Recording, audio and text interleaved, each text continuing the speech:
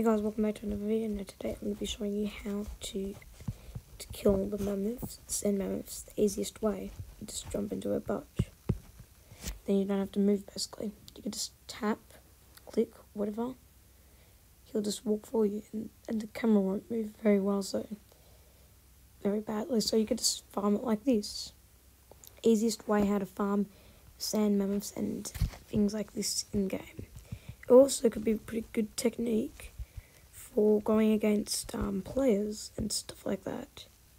So thanks for watching and I'll see you guys next time. See you guys.